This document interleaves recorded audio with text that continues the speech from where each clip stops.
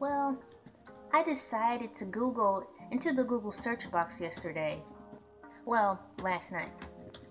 What are Funko Pop?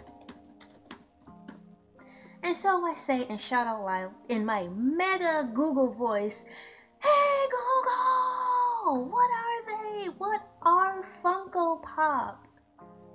Well, I typed in those words as you can see, and it and it didn't come up according to my standards to to to anything. You know, I found pretty much nothing. See, like all I see is a picture. And when I say nothing, I don't mean like nothing at all, but according to my standards, there's no full definition. All off top of what Google provided for me is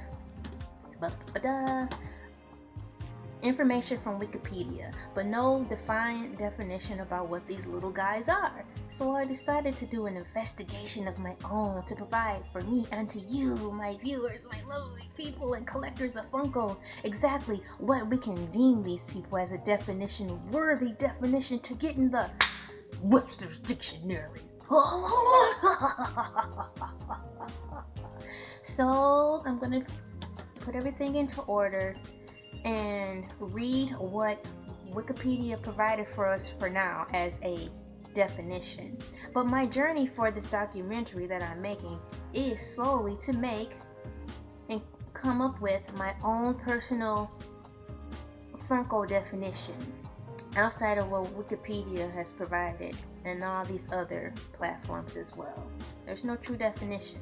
So I'm going to be on the search to make one.